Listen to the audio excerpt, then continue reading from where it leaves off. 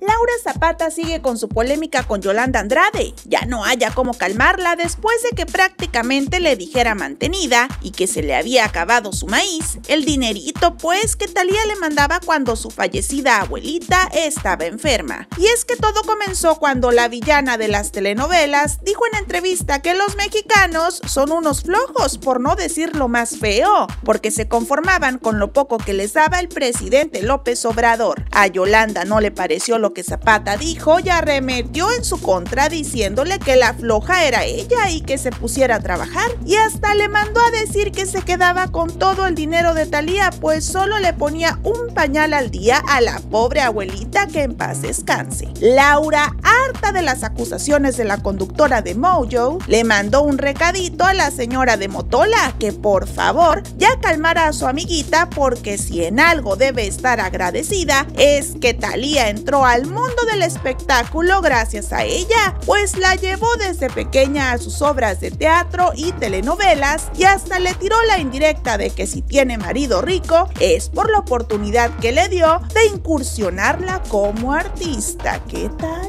Pues yo le digo, oye, ya controla a tu amiguita, ¿no? O sea, yo te abrí la puerta de este medio, pero antes de que tú empezaras a trabajar en esto, yo ya trabajaba y yo vivía de esto.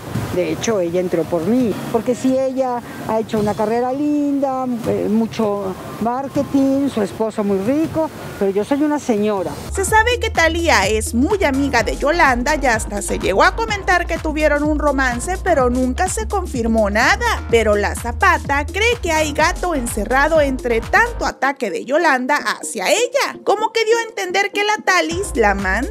¿Será?